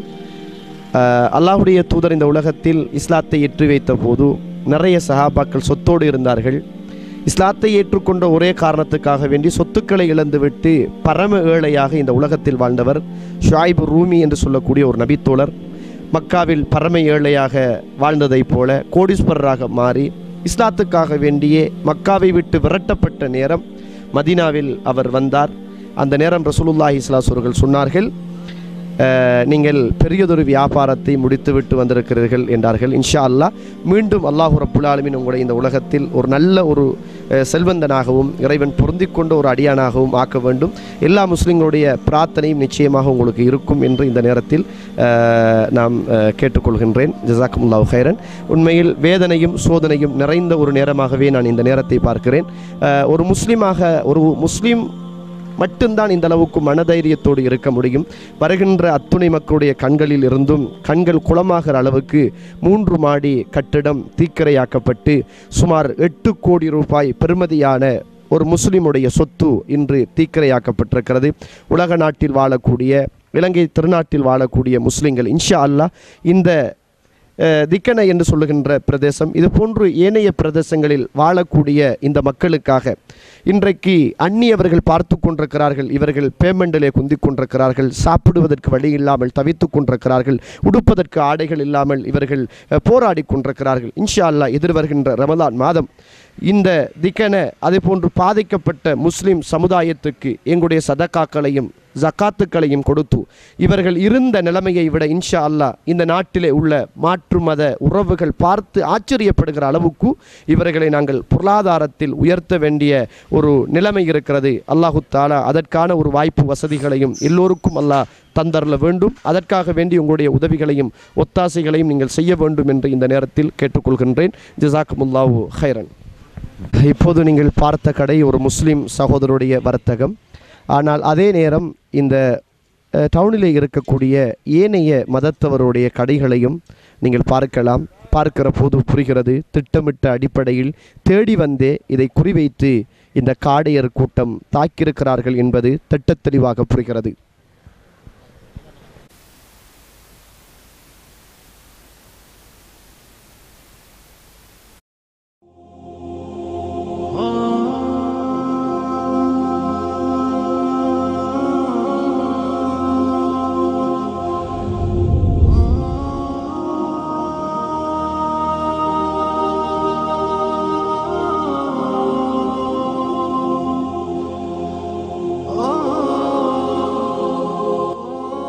அஸ்ஸலாமு அலைக்கும் வரஹ்மத்துல்லாஹி வபரகாத்துஹு. கடந்த ஐந்து மூன்று இரண்டாயிரத்தி பதினெட்டாம் தேதி திகன பிரதேசத்திலே நடைபெற்ற அசம்பாவிதத்திலே பாதிக்கப்பட்ட ஒரு சகோதரரை இப்பொழுது நாங்கள் சந்திக்கின்றோம். அவர்தான் அஷேக் ஃபசால் ஃபுர்கானி அவர்கள். அஸ்ஸலாமு அலைக்கும் வரஹ்மத்துல்லாஹி வபரகாத்துஹு. வலைக்கம் அஸ்ஸலாம் வரமத்துல்லாஹி வரகாத்து உங்களுக்கு தெரியும் திகன பிரதேசத்திலே நடைபெற்ற அசம்பாவிதம் பௌத்த தர்மத்தையே முறையாக பின்பற்ற தவறிய ஒரு சில வாரிபர்களால் நடைபெற்ற அசம்பாவிதம் முஸ்லீம்களுடைய சொத்துக்கள் உடைமைகள் வியாபார நிலையங்கள் குறிவைத்து தாக்கப்பட்ட தீக்கரையாக்கப்பட்ட ஒரு கோர நிகழ்வு இலங்கை வரலாற்றிலே நடைபெற்றது. அந்த அசம்பாவிதத்திலே பாதிக்கப்பட்ட அஷேக் ஃபசால் ஃபுர்கானி அவர்கள் அவர்களை நாங்கள் சந்திக்கின்றோம். அவரிடத்திலே அவருடைய மனோநிலை இப்பொழுது எப்படி இருக்கின்றது? அவர் இதனால் அடைந்த இழப்புக்கள் என்ன என்பது பற்றிய விவரங்களை நாங்கள் அவரிடத்திலே கேட்டு பார்ப்போம். உண்மையிலே இழப்புகள் என்று சொல்லும்போது நாங்கள் முதலாவதாக இழந்தது எங்களுடைய மிகவும் நெருக்கத்துக்குரிய அன்பான என்னுடைய சகோதரன் அப்துல் பாசித் அவர்கள். உண்மையிலே இந்த உலகத்தில் நாங்கள் இழந்த இழப்புகளிலே மிகவும் ஒரு மறக்க முடியாத ஒரு இழப்பு தான் அது எங்களுடைய குடும்பத்துக்கு மட்டுமல்ல இந்த நாட்டுக்கே ஒரு பெரிய ஒரு இழப்பு தான் என்று சொல்ல சொல்ல வேண்டும். என்ன காரணம் என்னென்னு கேட்டால் அவர் வந்து என்னுடைய சகோதரன் எல்லா நேரத்திலையும் வந்து ஏனைய சகோதரங்களோட பௌத்த சகோதரர்களோட அதே போன்று எல்லா சகோதரர்களுடையும் மிகவும் நெருக்கமாக அந்யோன்யமாக பழகக்கூடிய ஒரு சகோதரர். அதே போன்ற எல்லா சந்தர்ப்பங்களையும் சிரித்து கொண்டு மகிழ்வாக இருக்கக்கூடியவர் வணக்க வழிபாடுகள்லையும் மிகவும் பேணுதலாக இருக்கக்கூடிய ஒரு சகோதரர். அது மட்டுமல்ல இந்த ச அசம்பாவிதம் நடக்கும்போது ரெண்டாயிரத்தி பதினெட்டு மூணாம் மாதம் அஞ்சாம் தேதி இந்த நிகழ்வு நடக்கும்போது ஏனைய வீட்டுகளுக்கு அடித்து கொண்டிருக்கிறாங்க என்ற தகவலையும் ஆடியோ கிளிப் மூலமாக அவர் போட்டிருக்கிறார். ஃபைப்ரக்கட்டை அவசரமாக வர சொல்லும்படி அவர் சொல்லியிருக்கிறார். அவர் எங்களுடைய வீட்டு அதாவது பாத்ரூம் கிட்ட அவர் சென்று அவர் எப்படியாவது தப்பிக்க வேண்டும் என்று முயற்சி செய்திருக்கிறார். ஆனால் அவரால் முடியவில்லை. அல்லாஹுடைய ஏற்பாட்டிலே அவர் மரணிக்க வேண்டும் என்று எழுதியிருக்கிறது. அதே போன்று நாங்கள் இரண்டாவது பார்த்தோம் என்று சொன்னால் எங்களுடைய குடும்பத்தை சேர்ந்த என்னுடைய மற்ற சகோதரன் ஷம்சுதீன் முகமது ஃபயாஸ் என்று சொல்லக்கூடிய சகோதரர் தற்போது கண்டி வைத்தியசாலையிலே பதினோராம் வார்டில் இருந்து இருபத்தி ரெண்டாம் வார்டுக்கு எடுத்து கொண்டு செல்லப்பட்டிருக்கிறது. அவருடைய இரண்டு கைகளும் இரண்டு கால்களும் பத்தப்பட்ட நிலைமையிலே மிகவும் வருத்தத்தோட கஷ்டத்தோடு இருக்கிறார். மனநிலை பாதிக்கப்பட்டுள்ளார் இருக்கிறார். அவருக்கும் இரண்டு குழந்தைகள் இருக்கிறது. ஆண் குழந்தை ஒன்றும் பெண் குழந்தை ஒன்றும். அவர்களுடைய மனைவி வீட்டுடைய செலவு அதே போன்று அவர்களுடைய குடும்பத்துடைய செலவு கூட மிகவும் உண்மையிலே கவலைக்குரிய நிலைமையாக தான் இருக்கிறது. அதே போன்று அடுத்தபடியாக நாங்கள் பார்த்தோம் என்று சொன்னால் எங்களுடைய பெற்றோர்கள் எங்களுடைய வாப்பாவுக்கு வந்து ஏற்கனவே ஹார்ட் அட்டாக் இருக்கிறது இருதுணவு இருக்கிறது அதே போன்று சுகர் ப்ரெஷர் கிட்டத்தட்ட ஐந்து ஆறு கிளினிக் கொப்பு இருக்கிறது. என்றாலும் உள்ள உள தூய்மையில் அவர் வந்து எங்களுடைய தந்தை அதாவது உள்ளம் வலிமை உடையவராக இருந்த ஒரு காரணத்தினால ஏனையவர்களிடம் கையேந்த விருப்பம் இல்லை அவர். எனவே எங்களுடைய வீட்டுக்கு முன்னாலே ஒரு கடையை போட்டு அதாவது ஸ்லீப்பர் அதே போன்று ஏனைய அந்த கார்மெண்ட்ஸ் ஐட்டங்கள் சின்ன சின்ன ஸ்லீப்பர்ஸுகள் அதே போன்று உடுப்புகளை போட்டு வியாபாரம் பண்ணி கொண்டு இருந்தாங்க எனவே அந்த வியாபாரத்தின் மூலமாக தான் அன்றாட செலவுகள் எடுத்துக்கொண்டு இருந்தாங்க சகோதரர்களும் நாங்களும் கொடுக்கக்கூடிய அந்த பணத்தின் மூலமாகத்தான் தன்னுடைய நோய்க்குண்டான செலவுகளை பார்த்து கொண்டிருந்தார்கள். அதே போன்று எங்களுடைய வாப்பாவுடைய முன்னுக்கு தொழில் செய்யக்கூடிய கிட்டத்தட்ட பதினஞ்சு இருபது லட்சத்துக்கு பெருமதியான சாமான்கள் அனைத்தும் பத்தப்பட்டிருக்கிறது. எங்களுடைய வீட்டில் இருந்த அனைத்து புட்டுவம் செட்டுகள் கபட்டுகள் கட்டில்கள் அதே போன்று ஏனைய சாமான்கள் எடுத்து பார்க்கும்போது பத்து இருபது லட்சத்துக்குண்டான சாமான்கள் எல்லாமே பத்தி அனைத்தும் பழுதாக்கப்பட்டிருக்கிறது. ஆனால் இது உண்மையிலே எங்களால் மறக்க முடியாத ஒரு கவலைக்குரிய சம்பவம். எனவே நாங்கள் இந்த அரசாங்கத்திடம் சொல்ல விரும்புவது என்னவென்று கேட்டால் மனிதன் என்று வரும்போது நாங்கள் அனைவரும் சமமானவர்கள். இந்த நாட்டிலே மனித உரிமைகள் பாதுகாக்கப்பட வேண்டும் என்ற ஒரு காரணத்தினால மனித உரிமை என்று சொல்லக்கூடிய ஒரு சபை இருக்கிறது. அந்த சபையினூடாக அனைத்து மனிதர்களுக்கும் மனித உரிமைகள் வழங்கப்பட்டிருக்கிறது பேச்சுரிமை வழங்கப்பட்டிருக்கிறது கருத்து சுதந்திரம் வழங்கப்பட்டிருக்கிறது. அதே போன்று கெட் டுகெதர் ஒன்று சேரக்கூடிய வணக்க வழிபாடுகள் அனைத்து உரிமைகளும் கொடுக்கப்பட்டும். நாங்கள் கேட்கக்கூடிய கேள்வி நாங்கள் செய்த பிழை என்ன? என்னுடைய சகோதரன் செய்த பிழை என்ன? வைத்தியசாலையில் இருக்கக்கூடிய சகோதரன் செய்த பிழை என்ன? எங்களோட பெற்றோர்கள் அன்றாடம் ஹலாலான முறையில் இன்னொருவருக்கு தீங்கு செய்யாமல் இன்னொருத்தில் கையேந்தாமல் அன்றாடம் வாழ்ந்து கொண்டிருந்த எங்களுடைய பெற்றோர்களுடைய நிலைமைக்கு இவ்வாறு ஒரு அநியாயம் நடந்திருக்கிறது. இதுக்கு அரசாங்கம் பதில் சொல்லுமா? என்ற ஒரு கேள்வி நம்மிடத்தில் இருக்கிறது. ஆம் தன்னுடைய ஒரு சகோதரனை இழந்து இன்னொரு சகோதரன் எரியூட்டப்பட்ட நிலையிலே வைத்தியசாலையில் அனுமதிக்கப்பட்டு சிகிச்சை பெற்று வருகின்ற இந்த நிலையிலே தன்னுடைய வீடு பாதிக்கப்பட்டு வீட்டில் இருந்த சொத்துக்கள் பாதிக்கப்பட்ட நிலையிலே இருக்கக்கூடிய அஷேக் ஃபசால் ஃபுர்கானி அவர்களுடைய பொருளாதார நிலை மிகவும் நிற்கதியாக இருக்கின்றது. எனவே இந்த நிலையிலே நாங்கள் ஒரு ஈமானிய உறவு எமது இஸ்லாமிய சகோதரர். அதே போன்று முக்கியமாக அவரை பற்றி சொல்வதாக இருந்தால் இஸ்லாமிய தாவாவிலே ஈடுபடக்கூடிய ஒருவர் இஸ்லாமிய அழைப்பு பணியில் ஈடுபடக்கூடிய ஒருவர் புனித குர்வான் சுன்னாவின் அடிப்படையிலே தன்னுடைய வாழ்க்கையை கொண்டு நடாத்தக்கூடிய ஒருவர். எனவே அந்த பின்னணியோடு வாழ்ந்து கொண்டிருந்த ஒரு குடும்பத்திற்குத்தான் இப்படியான ஒரு நிலை ஏற்பட்டிருக்கின்றது. எனவே இந்த நிலையிலே நாங்கள் அவருக்காக வேண்டி உதவி செய்ய வேண்டிய ஒரு கடமை அவருக்காக வேண்டி உதவி செய்ய வேண்டிய ஒரு தார்மீக பொறுப்பு ஒரு சமூக பொறுப்பு எங்களுக்கு இருக்கின்றது. எனவே உலகத்திலே வாழ்ந்து கொண்டிருக்கக்கூடிய இஸ்லாமிய உறவினர்கள் ஈமானிய சொந்தங்கள் அஷேக் ஃபசால் ஃபுர்கானி அவர்களுடைய இந்த துயரத்திலே பங்கெடுக்க வேண்டிய ஒரு கடமை எங்களுக்கு இருக்கின்றது. எங்களால் முடிந்த உதவிகளை அவருக்கு நாங்கள் செய்ய வேண்டும். அவர் இழந்த அல்லாவுடைய ஏற்பாட்டின்படி மரணத்தை தழுவிய அவருடைய சகோதரருடைய மன்னரை வாழ்க்கைக்காக நாங்கள் அல்லாஹ்விடத்திலே பிரார்த்தனை செய்வோம். பேணுதலோடு இருந்த ஒரு சகோதரர் அல்லாஹ்வுடைய ஏற்பாட்டின்படி இந்த அசம்பாவிதத்திலே தன்னுடைய உயிர் இழந்து மரணத்தை தழுவிக்கொண்டார். அதே போன்று நோய்வாய்ப்பட்டு வைத்தியசாலையிலே சிகிச்சை பெற்று கொண்டிருக்கக்கூடிய அவருடைய மற்றொரு சகோதரர் அவருடைய பூரண உடல் ஆரோக்கியத்திற்காக அல்லாவிடத்தில் நாங்கள் பிரார்த்தனை செய்வோம்.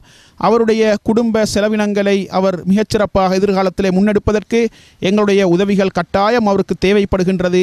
எனவே இந்த சந்தர்ப்பத்திலே அஷேக் ஃபசால் ஃபுர்கானி அவர்களுடைய தொலைபேசி இலக்கத்தை நாங்கள் உங்களுக்கு தருகின்றோம். அவருக்கு உதவி செய்ய விரும்பக்கூடியவர்கள் அவருடைய சுகையினம் அடைந்திருக்கக்கூடிய சகோதரருக்கு உதவி செய்ய விரும்புகின்றவர்கள் அவருடைய குடும்பத்திற்காக உதவி செய்ய விரும்புகின்றவர்கள் நேரடியாக அவரோடு தொடர்பு கொண்டு உங்களுடைய உதவிகளை தாராளமாக அள்ளி வழங்க முடியும். இதோ அவருடைய தொலைபேசி இலக்கம் பூஜ்ஜியம் ஏழு ஏழு எட்டு ஒன்பது ஒன்பது பூஜ்ஜியம் நான்கு பூஜ்ஜியம் ஐந்து. பூஜ்ஜியம் ஏழு ஏழு எட்டு ஒன்பது ஒன்பது பூஜ்ஜியம் நான்கு பூஜ்ஜியம் ஐந்து. எனவே இந்த தொலைபேசி இலக்கத்தினூடாக அஷேக் ஃபசால் ஃபுர்கானி அவர்களை நீங்கள் தொடர்பு கொண்டு உங்களுடைய உதவிகளை நீங்கள் தாராளமாக அள்ளி வழங்க வேண்டும். இஸ்லாமிய சமூகத்தை சர்வதேச சமூகத்தை ஒரு உடம்புக்கு நபி அவர்கள் ஒப்பாக்கி சொன்னார்கள். உடம்பில் ஒரு பகுதிக்கு ஏதாவது ஒரு நோய் ஏற்பட்டால் ஏனைய பகுதிகள் அந்த துன்பத்திலே பங்கெடுப்பதை போன்று உலகத்தில் எங்காவது ஒரு இடத்திலே ஒரு ஈமானிய உறவு ஒரு முஸ்லிம் சகோதரர் ஒரு பாதிப்புக்கு உள்ளானால் அந்த துன்பத்தில் அந்த துயரத்திலே பங்கெடுக்க வேண்டிய ஒரு சமூக கடமை ஒவ்வொரு முஸ்லிம் சமூகத்தின் உறுப்பினருக்கும் இருக்கின்றது என்ற அடிப்படையிலே இந்த துயரத்தில் நாங்கள் பங்கெடுப்போம். எங்களால் முடியுமான உதவிகளை நாங்கள் வழங்குவோம். இன்றைக்கு அவருக்கு இப்படியான ஒரு துன்பம் ஏற்பட்டிருக்கின்றது என்றால் இதைவிட கடுமையான ஒரு சோதனை நாளைக்கு எங்களுக்கு வரலாம். எனவே அல்லாவுக்கு நாங்கள் எங்களுடைய இந்த நிம்மதியான வாழ்க்கைக்காக வேண்டி நன்றி செலுத்துவதோடு துன்பத்திலே சிக்கொண்டிருக்கக்கூடிய அஷேக் ஃபசால் ஃபுர்கானி அவர்களுக்கும் அவருடைய குடும்பத்திற்கும் எங்களால் முடியுமான ஒத்துழைப்புகளை உதவிகளை வழங்குவோம். எனவே அவர்களோடு நீங்கள் தொடர்பு கொண்டு உங்களுடைய பொருளாதார உதவிகளை நீங்கள் தாராளமாக அள்ளி வழங்குங்கள் அவருடைய துன்பத்தில் நீங்கள் பங்கெடுங்கள் அவருக்கு ஆறுதல் வார்த்தைகளை நீங்கள் சொல்லுங்கள் அல்லாஹு தாலா பாதிக்கப்பட்டிருக்கக்கூடிய அவருக்கு நல்ல எதிர்காலத்தை கொடுக்க வேண்டும் அவருடைய மரணித்த சகோதரரை சுவனவாதியாக அல்லாஹ் பொருந்திக் கொள்ள வேண்டும் நோய்வாய்ப்பட்டிருக்கக்கூடிய சகோதரனுக்கு பூரண ஆரோக்கியத்தை அல்லாஹ் கொடுக்க வேண்டும் நிற்கதியான நிலையில் இருக்கக்கூடிய இந்த குடும்பம் கரை சேருவதற்கு அல்லாஹ் தாலா முழுமையாக உதவி செய்ய வேண்டும் என்று பிரார்த்தனை செய்து விடைபெறுகின்றோம் வஸ்ஸலாமு அலைக்கும் வரஹ்மத்துல்லாஹி வபரகாத்துஹு මේ ඉන්නේ අ, දිගන මස්ජිදුන් නූර් අ, ජුම්මා මස්ජිදේ. ගොලන්ට බලන්න පුළුවන් මේ මස්ජිදේ තුළට ටයර් එකක් පවා ගෙනල්ලා අ, මස්ජිදේ තියෙන දේවල් මේ තියෙන වස්තුන් ඒ වගේම පැදුරු මේ තියෙන පල්ලියේ තියෙන අල්කුරාන් ඒ වගේම පල්ලියේ තියෙන වෙනත් මේ ලිය කියවිලි මේ හැම දෙයක්ම උච්චලා තියෙන එක දකින්න පුළුවන්. අ, ඇත්තටම කලාහකාරීන් ඇයි මෙලෙස හැසිරුණේ මේකට හේතුව මොකක්ද? ඒ කියන්නේ සාමාන්‍යයෙන් මස්ජිදයක් තුල ඒ ඒ ආගමේ ඔවුන්ගේ වත්පිළිවෙත් ඒ වගේම ඔවුන්ගේ නැමදීම් කටයුතු කරන ස්ථානයක් කාට වුණත් මේ දේ ඉතාමත් දුක්ඛිත දෙයක් මොනවා වුණත් කෙසේ වුණත් මේ ස්ථානය අපි මුස්ලිම්වරුන් හැටියට විශ්වාස කරන අල්ලාහ් ඔහුහට නවදින ස්ථානයක්. එතර මේ ස්ථානයට මෙතරම් අ, හානිකර තත්ත්වයක් ගෙන දීමට තරම් අ, මේ ස්ථානයෙන් ඔවුන්ගේ හිත් කුරිරු වෙන තරමට මොන දේවල් සිද්ධ වෙලා තියෙනවද ඔවුන්ට සිද්ධ වුණ අලාභ දේවල් මොකක්ද කියන එක ඇතරම ලොකු ප්‍රශ්නාර්ථයක් අදටත් මේ මස්ජිදය තුළ දිනකට පස්වේල සලාතය කරන මුස්ලිම්වරුන්ට අදටත් මේ තුළ ඇවිල්ලා තමන්ගේ නැමදීම් ඒ ඇදහිම් මේ කටයුතු කරගන්න බැරි තත්ත්වයක් වාතාවරණයක් තමයි තියෙන්නේ. මේ ස්ථානයට ඇවිල්ලා ආරංචි වුණ දේ මේ සිද්ධියත් සමග අනෙක් දවස්වල ආරංචි වුණ දේ තමයි මේ ස්ථානයක් ඇවිල්ලා තමන්ගේ මිනිස්සේ කළ යුතු ඉතාමත් නීච නින්දිස දෙයක් තමයි මුත්‍රා කිරීම. ඒ වගේම පූජනීය ස්ථානයක් තුල ඇවිල්ලා අ, මුත්‍රා කර ති- තිබෙන එක ඉතාමත් දුක්ඛ සෝචනීය තත්වයක්. මේ තියෙන්නේ මේ මස්ජිදය තුල තියෙන අ, ඔෆිස් එක. ඒ කියන්නේ කාර්යාලය. මේ කාර්යාලයේ තියෙන දේපල ඉතාමත්ම හානිකාරදායී තත්වයක තමයි දැන් තියෙන්නේ ගන්නම දෙයක් නැහැ. අපි දන්නවා ම- මේ වගේ පූජනීය ස්ථානයක තියෙන ලියකියවිලි ඒ වගේම වැදගත් තොරතුරු මේ හැම දෙයක්ම අන්තර්ගත වෙන්නේ මේ වගේ කාර්යාලයක් තුල. ඊට වඩා දුකම තත්වය තමයි මේ මස්ජිදය තුල STF එකේ නිලධාරීන් ඒ වගේම හමුදා නිලධාරීන්ට ආහාරත් හදලා දීලා ඔවුන් වෙනුවෙන් ආහාර පිළියෙල කරලා ඒ උදව්වත් කරලා තියෙද්දි ඒ ආහාරයත් ගැනීමෙන් පස්සේ තමයි මේ වගේ අලාභහානි සිද්ධ කරලා තියෙන්නේ. ඇත්තටම වගකිව යුතු අය මේ පිළිබඳ ඔවුන්ගේ net තා දැඩිව යොමු කරලා මේ සඳහා කළ යුතු තමන්ගේ දායකත්වය ඊට සිදුලා තියෙන අලාභහානි වලට අනිවාර්යෙන් යම්කිසි ප්‍රතිකර්මයක් කරන්න ඕනේ. ඒක රටේ ඉන්න පුරවැසියන් ඒ වගකීමට බැඳිච්ච නිලධාරීන් වශයෙන් ඇතරම අපි කරන්න ඕන දෙයක්. මුස්ලිම් වරුන් ඉතාමත් ආදරය කරන කිසිම කෙනෙක්ට කරදරයක් නැතිව තමන්ගේ එදිනෙදා ආගමික ඇදහිලි නැමදීම් කටයුතු පස්වේල ඇවිත් කරලා යන තැනක් තමයි මෙතන. මස්ජිදයක් කියන්නේ ඕනෑම දහමක තමන්ට තියෙන පූජනීය ස්ථානයට තමන් අධික ආදරයක් ලැබියාවක් බැඳීමක් තියාගෙන ඉන්නවා කියන එක. ඒකට ಜಾති ભેද නැතුව අපි එකම වන්න අපි දකින්න පුළුවන්. මෙතන තියෙන ඉදුලි පංකා ඒ වගේම ගොඩනැගිලි. ඉතාමත් අලු අලු වෙලා ඒ කියන්නේ ගින්දර වලට දැඩිව පිච්චිලා ගන්න දෙයක් නැති තරමට පත් වෙලා තිබෙනවා. මේවා නැවත ප්‍රතිසංස්කරණය කරනවා නම් අනිවාර්යෙන් මේත් එක්කම කරන්න බෑ. මේවා නැවත කඩලා ඒක හදන්න ඕනේ. අන්න ඒ නිසා මේ සඳහා මේ වීඩියෝ දර්ශනය කියන්නේ මේ වීඩියෝ පටේ නරඹන සියලුම ඉස්ලාමීය සහෝදර සහෝදරීනි අපි අනිවාර්යෙන් මේ වගේ ස්ථානයකට මේ වගේ හානි ඒ කියන්නේ මේ වගේ දෙයක් රජය මේ සඳහා දායකත්වය දක්වනවත් සමගම අපේ ආගම පැත්තෙන් විශ්වාසවන්තයින්ට. ඒ කියන්නේ අපි දන්නවා අපි අල්ලාහ්ව විශ්වාස කරලා මේ ලෝකේ අල්ලාහ්ගේ භූමියක් හැටියට අල්ලාහ්ගේ ලෝකයක් හැටියට ඉඳලා අපි අල්ලාහ් වෙනුවෙන් නැමදීම් ඉටු කරලා ඔහු විශ්වාස කරගෙන ඉන්න නිසා අල්ලාහ්ගේ දූතයාණන් මුහම්මද් සල්ලල්ලාහු අලයිහි වසල්ලම් තුමාණන් ප්‍රකාශ කරා. විශ්වාසවන්තයෙක්. ඒ කියන්නේ අල්ලාහ්ව මේ ලෝකේ අල්ලාහ් මවපු කෙනෙක් හැටියට විශ්වාස කරන විශ්වාසවන්තයෙක්ගේ සතුව තියෙන පුදුමාකාර ගතිගුණයක් තමයි Tamanට සිදුවන ඕනම දෙයක් ඒක යහපතක්. අයහපත් දෙයක් සිද්ධ වුණා නම් ඒක අල්ලාහ්ගෙන් වූ පරීක්ෂාවක්. ඒ වගේම යහපතක් සිද්ධ වුණා නම් ඒක අල්ලාහට අපි ස්තුති කළ යුතු කෘතඥතාවය පළ කළ යුතු දෙයක්. අනේ නිසා අල්ලාහගේ දූතයරන් කිව්වා මොනම දේ සිද්ධ වුණත් ඒක උන්ට යහපතක් හැටියට තියේවි. මේ මස්ජිදය නැවත නිර්මාණය කරලා නැවත මෙතන ඇදහිම් කටයුතු කරගෙන යන්න අපි අල්ලාහ්ගෙන් ප්‍රාර්ථනා කරමු. මොන දේ කරත් ඇත්තටම ඉස්ලාමය කියන්නේ මොකක්ද කියන දැනුම හරියටම නැති නිසා ඒ තරුණයින්ගේ ලේ යම්කිසි පාර්ශවයකින් අන්තවාදී ඒ වගේම කඩාකප්පල්කාරී මේ පාර්ශවයන් මේ ලේ තරුණයින්ගේ ලේ පුච්චපු නිසා ඔවුන් ඇත්තටම කොල්ලෝ ඇවිල්ලා මේ දේ කරලා තිබෙනවා. ඇත්තටම දුකයි. ශ්‍රී ලංකාවේ කාසිකෝට් ඒ වගේම මුස්ලිම් වරුන්ටම වෙන් කරපු පාසල් ඒ වගේම මුස්ලිම් වරුන්ටම වෙන් කරපු නීති රීති කියලා මේ අයුරුවෙන් තමයි ඔවුන්ගේ හිතවල මේ ජාතිවාදය පතුරවලා තියෙන්නේ. ඇතරම එහෙම නීතියක් වෙනම එහෙම කාසිකෝට් කියන්නේ මොකක්ද? මේ කාසිකෝට් එකේ සිද්ධ වෙන්නේ මොකක්ද? මුස්ලිම් වරුන් හොරකම් කරත් අරියාණ තුරක් සිද්ධ වුණත් මේ කාසිකෝට් එක අරහද නීතිය පනවන්නේ. එහෙම නැහැ. කාසිකෝට් එක කියලා තියෙන්නේ ඇත්තරම ඉස්ලාමීය විවාහ නීතිය හා සම්බන්ධ කටයුතු කරගෙන යන්න. ඒක රජයේ අනුමැතියත් එක්ක කරගෙන යන දෙයක්. ඇත්තටම අපි දන්නවා සිංහල මිනිසුන් පා- තමන්ගේ පාසල් අධ්‍යාපන කටයුතු සමගම ආගමික පැත්තට නැඹුරු වෙන්න තමන්ගේ ආගම උගන්වන්න මේ සඳහා දායකත්වය දක්වන්නේ මහාන වීමෙන් අනතුරු. ඒ කියන්නේ ඔවුන් මහාන වෙලා පන්සලකට හරි අ, නැත්නම් පිරිවෙනකට හරි ගිහිල්ලා ඉගෙනගෙන තමන්ගේ පාලි භාෂාව ඒ වගේ සංස්කෘත ඒ දේවල් ඉගෙනගෙන තමන්ගේ ජනයාට ඒ සිවුරු සිවුරක් පුරවගෙන තමන්ගේ ජනයාට උගන්වනවා. මේ වගේම මුස්ලිම් ජනතාව තමන්ගේ ප්‍රධාන මූලාශ්‍ර තියෙන්නේ අරාබි භාෂාවෙන් නිසා. ශ්‍රී ලංකාවේ තියෙන දෙමළ හෝ ඉංග්‍රීසි හෝ සිංහල හෝ පාසල්වල ඒවා ඉගෙන ගන්න බැරි කරුණ අන්න ඒ කරුණ පදනම් කරගෙන තමයි ඔවුන් අවුරුදු 10 නැත්නම් 12 මේ වගේ වයස් වල නැත්නම් O level එකට සාමාන්‍ය පෙළ කරලා ඊට පස්සේ යම් කිසි තැනකට ගිහිල්ලා අවුරුදු 5ක් හෝ 6ක් ඉඳගෙන අරාබි භාෂාව ඉගෙනගෙන ලංකාවේ මද්රසා කියන පාසල ඒ මද්රසා කියන වචනයෙන්ම හඟවන්නේ පාසල කියන අර්ථය. ඔවුන් ඒක පාසලක් හැටියට කරනවා ඒවා රජයේ ලියාපදිංචි කරලා තියෙනවා. ඒ උගන්වන්නේ අරාබි භාෂාවත් සමග ඉස්ලාමීය ධර්ම විතරයි. අන්තවාදයක්වත්, ත්‍රස්තවාදයක්වත් කඩු මුගුරු අරගෙන සමාජය කොහොමද යටත් කරගන්න ඕන කියන එකවත් නෙමෙයි. එතන කියන්නේ කියන එකත් මේ වගේ ගොඩාක් දේවල් ඉස්ලාමය පිළිබඳව තියෙනවා. ශ්‍රී ලංකා සියලු ජනතාවනේ ඔබෙන් කරන ආදරණීය ඉල්ලීම.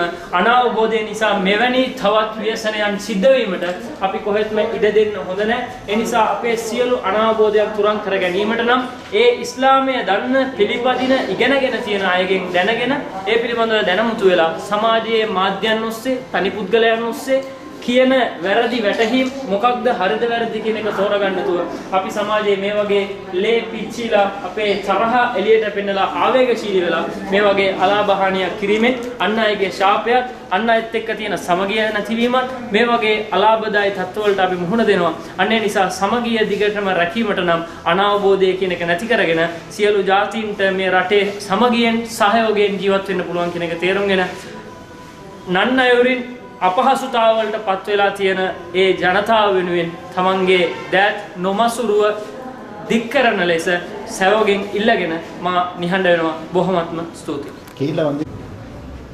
ඔයාලට දකින්න පුළුවන් මේ දිගන ප්‍රදේශයේ මස්ජිදුන් නූර් කියන මේ ඉස්ලාමීය පූජනීය දේවස්ථානය සියලු සම්පූර්ණයෙන්ම එක් බැනර් එකකින් එක් පින්තූරයකින් ඔබලාට පෙන්눔 කරලා තිබෙනවා සිද්ධ වුණ අලාභ හානි පිළිබඳව. ඒ වගේම උඩින්ම දාලා තියෙනවා 2018 තුන්වැනි මාසයේ පස්වන දින. දිගන නගරයේ සිදු වූ කලහකාරී තත්ත්වය නිසා මෙම පූජනීය ස්ථානයේ සිදු වූ අලාභ හානි පහත පරිදි වේ. දකින්නට පුළුවන් සිද්ධ වෙලා තියෙන දේවල් කතරම් දුරටද කිව්වොත් හැම හැම සිකුරාදාවකම අල් කුර්ආනයේ වැකියක් වන ඒ කියන්නේ සූරා ජුමා කියන පරිච්ඡේදයේ එක් වැකියක් තමයි විශ්වාසවන්තයිනි සිකුරාදා දින ඔබලාව පල්ලියට කැඳවපු සෙනින් ඔබලා ඔබලාගේ ව්‍යාපාරය අත්හැරලා ඒ මස්ජිදයට ගිහිල්ලා ඔබලා ඒ සිහි කිරීම. අල්ලාහගේ අල්ලාහ් පෙන්නපු ඒ මග ඒ මාර්ගය විකර් කියන්නේ ආගමෙන් යම්කිසි දෙයක් ඉගෙන ගන්න තැනක් තමයි මේ මස්ජිදය සිකුරාදා දින කොහෙන් හරි කොයි ගමකින් හරි ඉගෙනගෙන ඇවිල්ලා තියෙන පූජකතුමෙක් තමයි මේ ස්ථානයේ ඉඳලා දේශනාවක් පවත්වන්නේ. ඒ දේශනාවේ අන්තර්ගත වෙන්නේ ඉස්ලාමය අපිට මොකක්ද උගන්වන්නේ? කාලීන ලෙස, කාලෝචිත ලෙස අපි මොකක්ද කරන්න ඕනේ? මිනිසුන්ට එක කොහොමද කටයුතු කරන්න ඕනේ? අපගේ ව්‍යාපාරයේ තියෙන්න ඕනේ කොහොමද? පවුලේ පවුලේ තත්ත්වයේ තියෙන්න ඕනේ කොහොමද? මේ වගේ දේවල් විග්‍රහ කරන තැනක් තමයි මේ මස්ජිදයේ මිම්බර් කියන මේ වේදිකාව. මේ වේදිකාව පවා ඉතාමත් කුඩුපට්ටම් කරලා තියෙන අයුරු. මේ පුටුව පවා පෙරලා ගිහිල්ලා තියෙන අයුරු දකින්න පුළුවන්. මේ ස්ථානය ත්‍රස්තවාදය හඟවන තැනක් ඒ වගේම ත්‍රස්තවාදයට මුල් පුරන තැනක් නෙවෙයි බලන්න පුළුවන් ශ්‍රී ලංකාවේ ඉන්න සියලුම ජනතාවනි ඔබ අද ලංකාවේ තිබෙන ඔබේ ප්‍රදේශයේ තියෙන මස්ජිදයේ නිදහසේ තමන්ගේ ඇදහිම් නැවැදීම් කටයුතු කරගෙන යන්න පුළුවන්. නමුත් මේ ප්‍රදේශයේ ඉන්න ජනතාව පාන්දර ඉඳලා රෑ වෙනකම් තමන්ගේ ඇදහිම් නැවැදීම් කටයුතු කර ගැනීමට නිදහසේ